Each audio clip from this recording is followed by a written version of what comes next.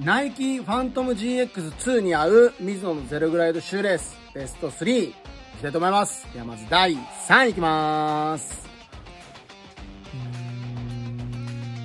はい、こちらです。じゃーん。ホワイトです。これなかなかね、額に入ってるホワイトと合わせていいんじゃないですか、なかなか。シンプルでいいと思います。ほい。じゃあ、第2位いきまーす。はい、こちらです。じゃーん。エンジです。だからこれ渋くていいんじゃないですか。なかなかね、エンジって使うときないんですけど、こういうピンクとね、なかなか相性いいんじゃないですかね。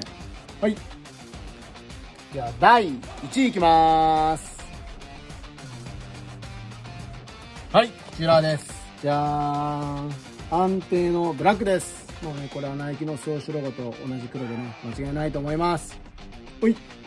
えー、こんな感じでね、ファントム GX2 買われる方、シューレース参考にしてみてください。